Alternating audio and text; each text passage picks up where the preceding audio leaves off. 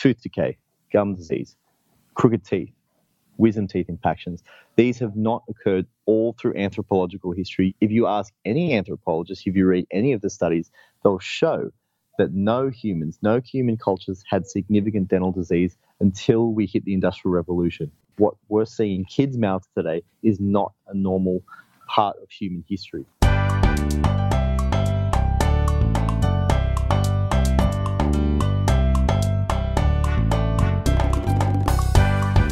To the Wise Traditions Podcast, sponsored by the Weston A. Price Foundation for Wise Traditions and Food, Farming, and the Healing Arts. We are your source for scientific knowledge and traditional wisdom to help you achieve optimal health. I'm your host, Hilda Labrada This is episode 128, and my guest is Dr. Steven Lin. Steven is a world leading functional dentist, a TEDx speaker, and the author of the international best selling book, The Dental Diet. He is a whole health advocate, very much in keeping with the wise traditions approach of the Weston A. Price Foundation. He even references Dr. Price's work in his book.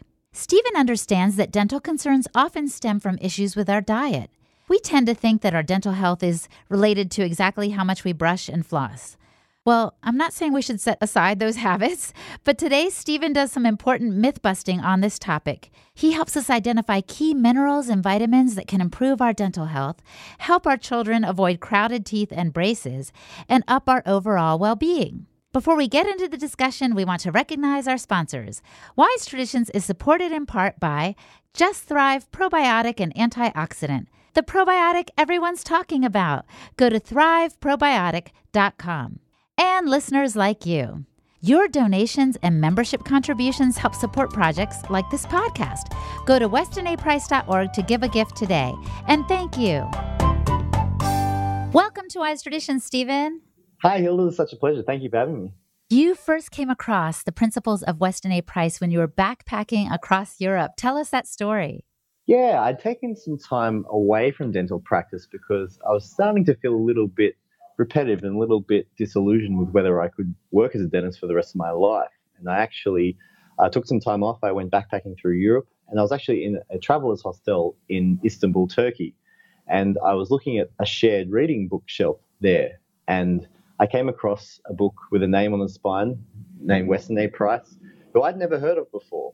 I was trained in biomedical science and as clinically as a dentist, and so seven years of tertiary education, I'd never heard of the book. And so I picked it up, and it really was an eye opener for me. I would look through the pages, you know, this story of this dentist from the 30s, and I really kind of looked at it and kind of discounted it. My training led me to be skeptical of it, and I put it in my bag, and I kind of forgot about it for a few years. But then it kind of kept speaking to me, and so there was something about Price. I felt that there was something lost in his words, and so I went back to the book a few years later and I realized I didn't understand it. And that was really the start of my journey to writing the dental diet. And I really wanted to find out why my training hadn't explained what Price was talking about. And then I felt that there was a story there. And so that was starting to look into human anthropology, calcium metabolism in the body, fat soluble nutrients, the human microbiome, and all these things that now plug in scientifically what Price is talking about. And that's really what I've tried to put together in the dental diet and how it all started, really. Well, it's just a shame, I think, that this information isn't provided and isn't part of the curriculum of those studying to become dentists because it seems so basic. Instead of just addressing the cavities or the gum disease, why don't we get to the root of what the problem is, which is what Dr. Price's research did, correct? That's exactly right. And so training today has this big problem is that we look at diseases that we react to and we don't understand how they occur. Tooth decay, gum disease, crooked teeth or malocclusion, why kids need braces today, wisdom teeth impactions, they are all problems with feeding ourselves the wrong things that begin, you know, right before conception. This is all what Price was talking about. And really what we have now is that science has validated Price's observations and we need to go forward and plug those gaps in because we have a big problem with dental diseases in society. And actually, we've got an even bigger problem how they connect to chronic diseases that is costing us billions. And we're a very sick population. We need to understand how the mouth is how we design how to eat for a healthy body and healthy life.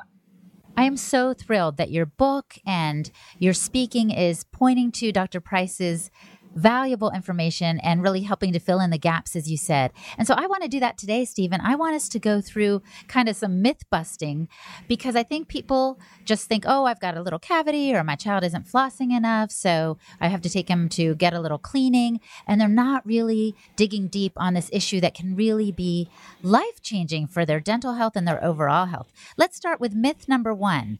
I found this on your website, so I just want to kind of go through these myths. Orthodontic braces are a necessary tool to ensure children grow up with properly aligned teeth.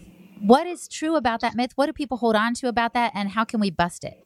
So, orthodontic braces and malocclusion in kids, so why teeth don't fit into our child's jaw today, is, I think, one of the biggest health epidemics on the planet.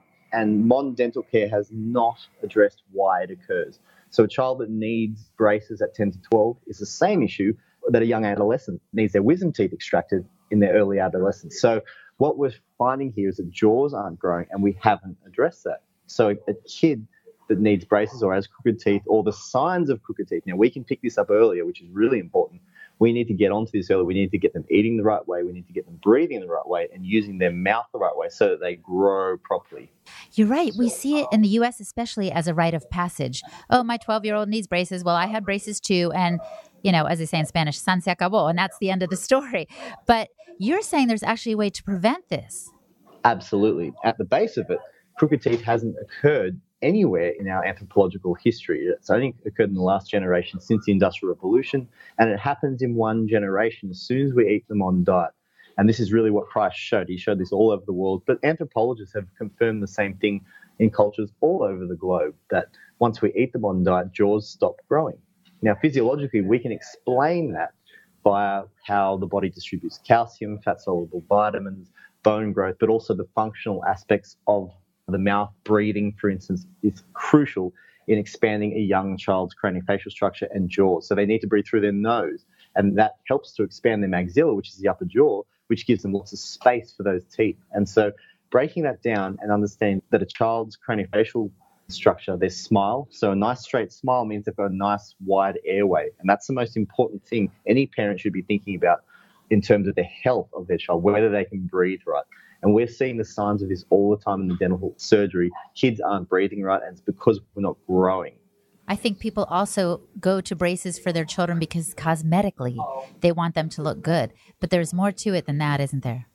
That's absolutely right. So braces basically align the teeth, and the teeth are just a symptom of the growth problem. And so if we see it like that, in this very kind of superficial way, now kids can have braces into their adolescence to correct their teeth, but we need to get their jaws, their airways, and their functional aspects, especially making sure they're eating right, making sure that's all set first. So braces can be a, a way to cosmetically reset the teeth in adolescence and the early adulthood, but we need to see it as a whole part of a functional dental model where we understand all the different pathology that can link to poor breathing, which include kids that snore, that grind their teeth, which all link to a breathing problem.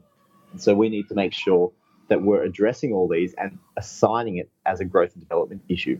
Absolutely. And in the foundation, we emphasize the diet as well, eating the traditional foods that are going to nourish and build up our bodies and allow for that growth of the jaw. Let's go on to myth number two, Steven. Brushing and flossing are the best preventative methods for dental health. Tell us about that myth. Yeah, something I like to kind of tell my patients is that if you've got a problem with your car engine, do you take it to the car wash? No, you don't. You don't go to the car wash because you'll have a nice shiny paint job at the end, but you're not going to have a car that runs. Do you? got to get under the hood and look at the engine, right? Right. And so that's really, you know, our recommendations for great teeth, flossing, brushing, mouthwashes. That's all a very superficial way to look at how oral health, but the immune system inside your teeth, the oral microbiome, these are the real ways to prevent decay, to get a kid's jaw to grow, and to ultimately have them prevent dental disease throughout their whole life. But now this isn't an excuse for stopping brushing and flossing. I can just hear some kids now saying, Yay, we don't have to worry about it anymore. We're just going to bed with our grimy teeth. Exactly right. So oral hygiene has its role. So you know every kid should be brushing their teeth, and we should as well. But let's put it in the perspective of you know what it does.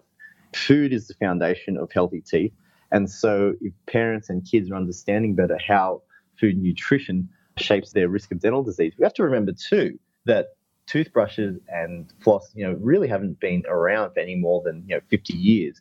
So it's a great tool we have today, but let's put it in that context and that food is the real way to prevent uh, dental diseases. Yes, you know, because I know you've studied Dr. Price's work. When he was in Switzerland, he came across some children who almost had like this slime covering their teeth. And he was like, oh my gosh, like wondering, is this going to show a lot of incidents of cavities or whatnot? No, even though the children were not brushing, their diet was so nutrient dense that they didn't have a high incidence of cavities or any dental deformities. He was fascinated by that. And it's proof of what you're saying. Absolutely. And he saw this in every culture. There were no toothbrushes, dental surgeries, none of that. And that's across all anthropological history. People didn't brush their teeth and they had brilliant, white, straight, white dental arches. And this is really where Price's work sets the scene is that anthropologically dental diseases and all the other chronic diseases we see today aren't normal. The, the idea that we need to brush and scrub our teeth really is very superficial, and we just should see it that way. So, Steven, let's talk about myth number three that crooked teeth are genetic. And so some people say the only treatment is corrective braces. This has been very much the standard dialogue of the orthodontic industry is that kids have crooked teeth because of their genes. And this is what I was told and what I was looking at in dental practice for a long time. But the science really hasn't backed that up. Now we know certain racial backgrounds and cultures have certain propensities for different types of malocclusion, but crooked teeth in general only happens when we eat them on diet anthropologically. So there's not a gene that predisposes you to crooked teeth. It will predispose you to a type of crooked teeth. So genes will tell us what type of malocclusion you get. They won't tell us why it happens. Food is the cause of malocclusion. And that's what Price's work you know, really showed absolutely without question that once you eat them on diet, this is when it pops in. You know, you, you look through the anthropological record, you look through the people that were eating traditional diets right up until when he saw them. And then the people that ate them on diet and crooked teeth pops up, that's not a genetic problem. It's an environmental issue and it's a dietary issue. You know what else you can find in his book? He shows some families where the first child, let's say, was born to the parents when they were eating their traditional diet, and there is plenty of room in their jaw for all their teeth. They have the proper structure, as you've been discussing, and then they'll have a subsequent child once their diet has changed and their teeth are crooked and crowded. So it goes to show it's not the genetics. They're coming from the same parents, but something changed. Absolutely. And you talk to your grandparents, you're going to find very few of your grandparents that had braces or needed them. Charles Darwin actually noted that wisdom teeth impactions were a very recent phenomena. One of his oral surgeons said, you know, once we kind of get into civilization, the back part of the jaw stops growing and then wisdom teeth don't fit. And there's no oral surgeons out in nature, there's no animal or biological systems that have crooked teeth orthodontists or oral surgeons. It all happens once we eat them on diet. There's no arguing that. So we've been very kind of blinded, and I think we've got a little bit of amnesia in terms of how our teeth have been, you know, for the vast majority of our ancestors' history on Earth, and how we need to get back to that because the consequences are dire. Coming up. Dr. Lin talks about the importance of vitamins and minerals from our food and where to get them exactly. We want to pause now and recognize our sponsors. Today's episode is brought to us in part by Just Thrive Probiotic and Antioxidant. Most probiotic pills just pass through our bodies without achieving the desired effect. Microbiologist Kiran Krishnan recommends a spore based probiotic like Just Thrive Probiotic. Just Thrive is the first 100% spore forming probiotic that arrives alive in the intestines naturally. It supports optimal gut health, digestive health, immune health, and delivers antioxidants. It's great for adults, kids, the whole family. The probiotic everyone's talking about. Just Thrive Probiotic and Antioxidant. Visit their website at thriveprobiotic.com and listeners like you. Boogie Bren had this to say on Apple Podcasts life changing information. Having implemented the teachings from the Weston A. Price Foundation on what real food is and the science behind it, both my and my wife's health issues are improving. After languishing for well over a decade and spending tens of thousands of dollars on doctors who just wanted to medicate, all this time the solution was right under our noses with eating real food. Boogie Bren, thank you. We are so glad that our information has been helpful to you. This is what we are all about. So support this mission by going to westonaprice.org and giving a gift of any size. And everybody help spread the word about food being our medicine by rating and reviewing the show on iTunes or sharing episodes with your friends and family. And thanks so much for listening and for all of your support. Let's take a break from our myths. We'll come back to them. But I also want to talk to you about the importance of vitamins and nutrients in the food that we eat. I think in your book you mentioned one chapter is called The Mystery of the Missing Vitamin. Which missing vitamin would that be, Steven? Yeah, so this was one of the journeys that I took reading Price's work. You know, he wrote about Activator X in nutrition and physical degeneration. And the story of Activator X is just fascinating. And you know, this goes to Sally Fallon and Chris Masterjohn, who I spoke to while reading the book. And I really had to understand it as well. But Price died, we have to remember, in 1948, 10 years after publishing his work, and he never identified what Activator X was. Now, it took 70 years, even after the work was republished in large scale in, the, in 99, mm-hmm. before we knew that Activator X was in fact vitamin K2. Now, I wasn't taught about vitamin K2 in dental or medical training, and nor do doctors get that training currently. But we know that the Japanese Health Ministry, for example, has approved it as an osteoporosis medication. So, vitamin K2 has a very different set of purposes in the body than what we're trained to see vitamin K or vitamin K1 as. And so there's a different set of molecules there. And so what it does is it works alongside A and D, just as Price talked about, to activate calcium metabolism in the body, to activate the proteins that put calcium into teeth and bones, activate the immune system inside teeth.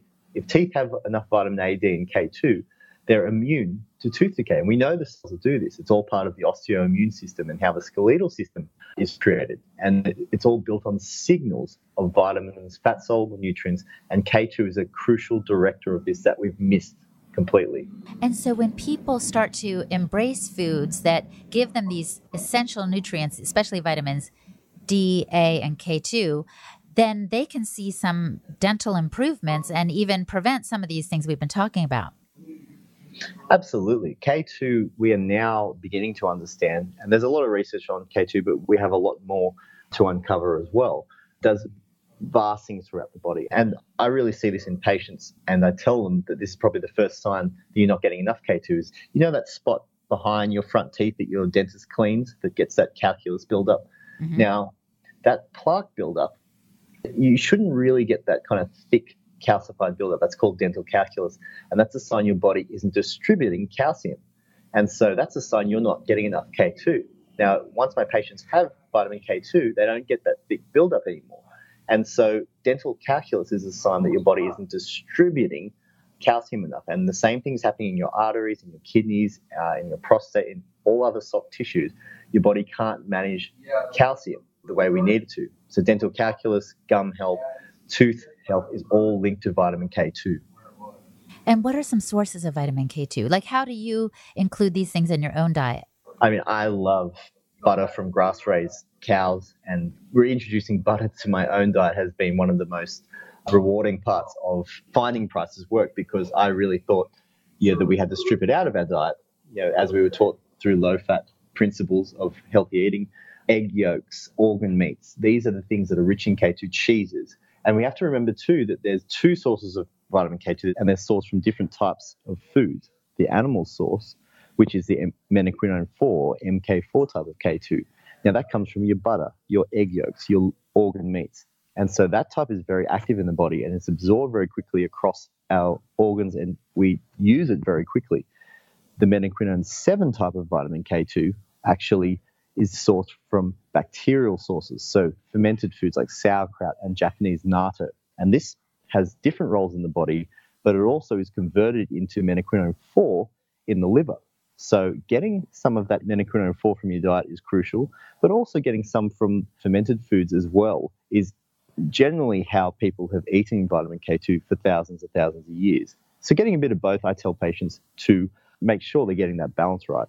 Absolutely. You're preaching to the choir here because we, uh, Wise Traditions, are so fond of all these foods that are not only nutrient dense and rich in these vitamins, but delicious. So we're glad that you're enjoying butter and all these good things as well, Steven. It really heartens me to hear that. I wanted to ask you one quick question before we get back to the myths. Emu oil, I've heard, is a good source of vitamin K2. Is that correct? Yeah, emu oil is used by indigenous Australians for thousands and thousands of years. So what they would do is they would get the very rich and the very thick back fat from emus. They found that it was very nutrient dense and nutrient dense in vitamin K2. Vitamin K2 is a difficult nutrient to source in the environment, so cultures were very, very careful to make sure that they knew where it was coming from and to treasure those foods. Emu oil is one of those foods in Australia because the Australian outback is a difficult place to live. So they need those sources, and they made sure they did, and their teeth were wonderful as a result. So, Steven, let's pivot and go back to the myths now. Myth number five is that dental disease is a normal part of life and has been normal for all of human history. What do you say to that? How do you bust that myth? Dental disease, in terms of everything we see today, is not normal. Tooth decay, gum disease, crooked teeth, wisdom teeth impactions. These have not occurred all through anthropological history. If you ask any anthropologist, if you read any of the studies, they'll show that no humans, no human cultures had significant dental disease until we hit the Industrial Revolution. The Agricultural Revolution, we started to see some tooth decay.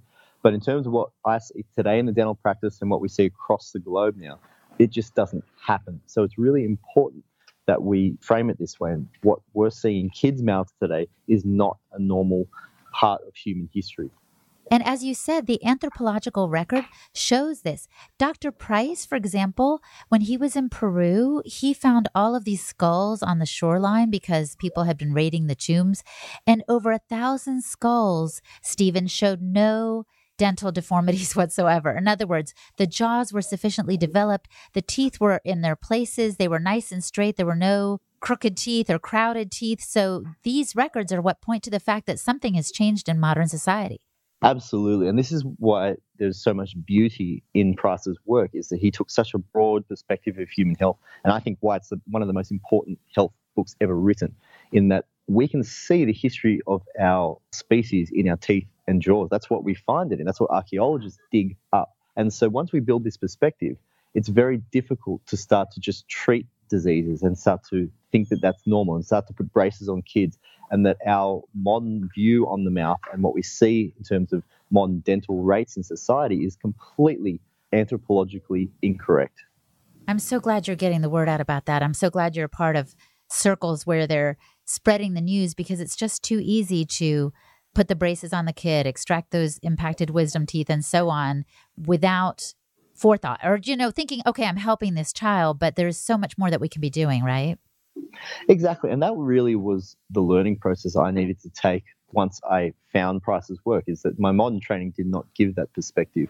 And that we need to see that once you plug that in, there is an entire model of healthcare that we need to replace. And so treatment, you know, braces, wisdom teeth extractions, filling, that's all fine. You know, that's there for us to use. But we need to move now into understanding the body and how physiologically the mouth body connection, the oral systemic link, really is the model for how we build dietary guidelines, how we tell parents to help their kids grow and develop. All of this, I think, is an exciting future of dental medicine.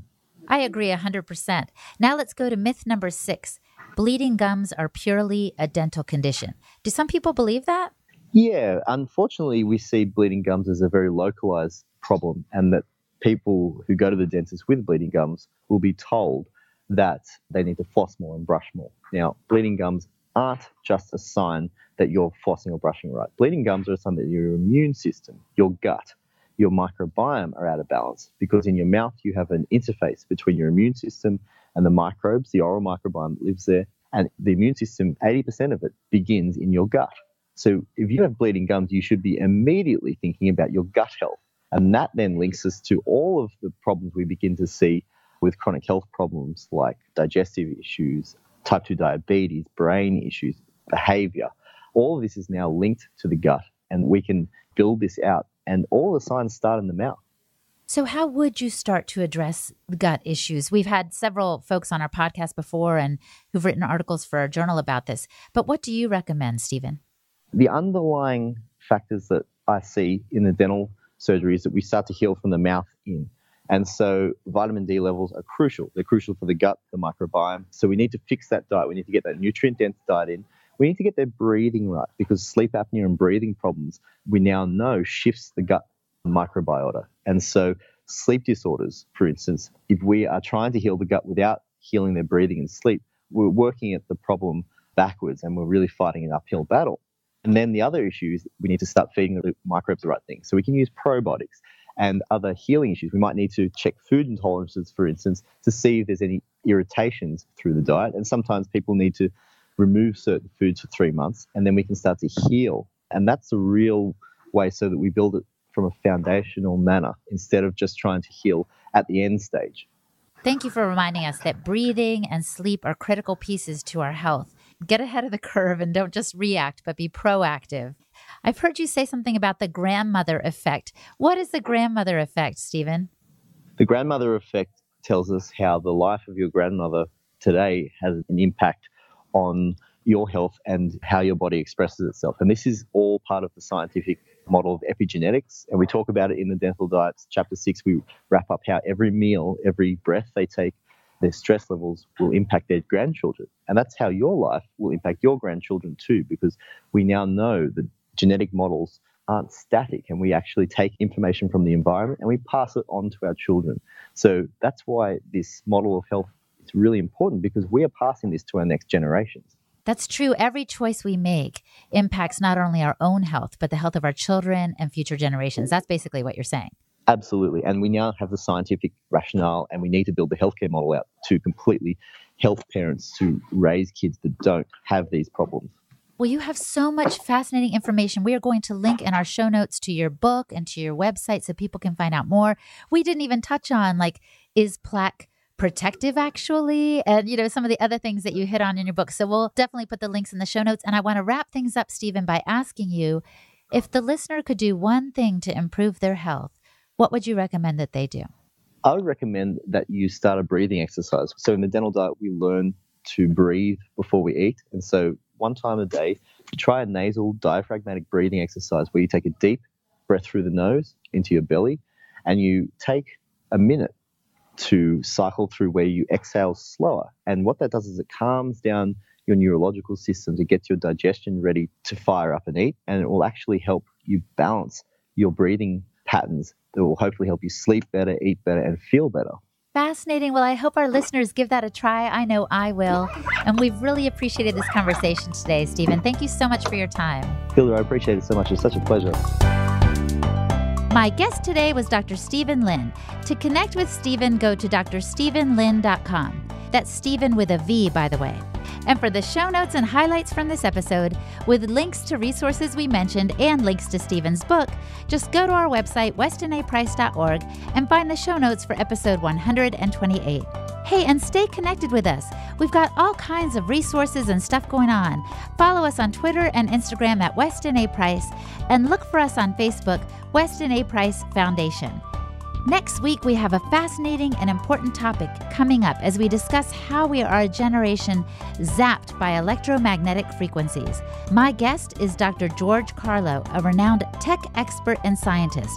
He describes to us exactly what kind of exposure we're facing from our cell phones, tablets, Wi Fi, and the like, and its effect on our bodies, and what we can do to protect ourselves. George was one of the experts featured in that new documentary, Generation Zapped. He knows his stuff. You're going to want to hear this. I was personally riveted. Last but not least, thank you to Podcast Village, to Rob Ford, and the team of interns who help with the show Cynthia Castro Cohen Enriquez, Joy de los Santos, Amy Marvin, Lily Hempt, Mary Hine, Deirdre Beard, and Olga de Villiers. Hey, everybody, and don't forget that I am here for you. I'm on Twitter at Holistic Hilda. I'm also on Instagram at holistic underscore Hilda. I also have a blog and services that I offer to support your wellness and podcasting journeys. So go to holistichilda.com for all of the above. Thanks, everybody, and keep on listening. Did you know that there are Weston A. Price Foundation chapters all over the U.S. and around the world? Chapter leaders help you find good food in your area, and some have meetings you can attend. Go to our website, westonaprice.org, and click on Find a Local Chapter to see if there is one near you. Wise Traditions is brought to you by the Weston A. Price Foundation for Wise Traditions in Food, Farming, and the Healing Arts. The content of this podcast is provided for informational purposes only and is not intended as a substitute for medical advice.